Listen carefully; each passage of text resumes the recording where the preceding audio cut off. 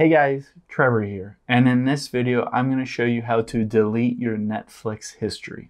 It's pretty quick and easy, so let's jump right in.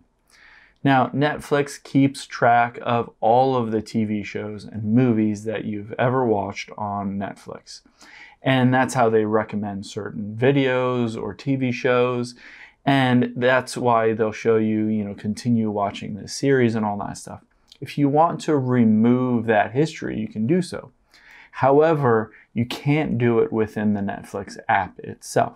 So I'm on my iPhone. If you're on Android, on a tablet, computer, whatever, you'll need to open up a web page. So I'm going to use Safari here. You can use Chrome as well. And we'll just go to netflix.com. You're going to want to sign into your Netflix account here Make sure it doesn't whisk you off to the Netflix app. You stay on the web browser, netflix.com here. Once you're on here at the very top left, we'll want to tap on those three lines. And then you'll want to tap on account right under your name there. And it will show your account here. And if you scroll down, you can see profile and parental controls. Now, there's specific one that you want to remove that history, just tap on that one.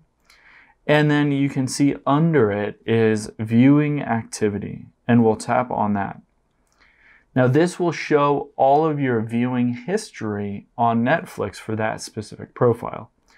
You can tap that little circle with a line through it to hide that series or that episode. And it says within 24 hours, this episode will no longer appear on Netflix as the title you watch and no longer make recommendations for it.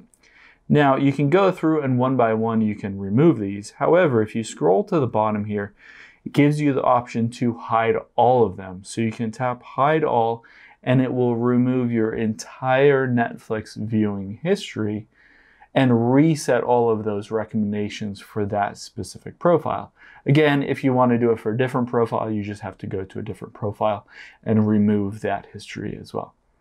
Hope this helps. Let us know if you have any questions in the comments below and make sure to subscribe. Thanks.